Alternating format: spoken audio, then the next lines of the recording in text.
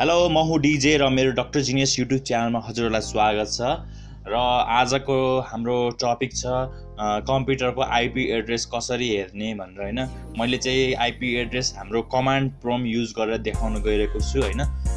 हेरिदिनु होला first of all windows र आर दाब्नु होइन? विन्डोज र आर दाबेपछि तपाईँको रन आउँछ। रनमा गएपछि सिएमडी टाइप गरी होइन?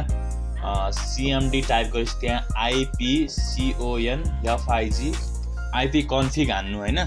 आइपी कन्फिग हानेपछि तपाईँको यहाँ आइपी भी फोर एड्रेस दिइरहेको छ होइन? One nine two dot one six eight dot hundred dot two eight छ होइन? मेरो कम्प्युटरको आइडी चाहिँ आइपी चाहिँ होइन?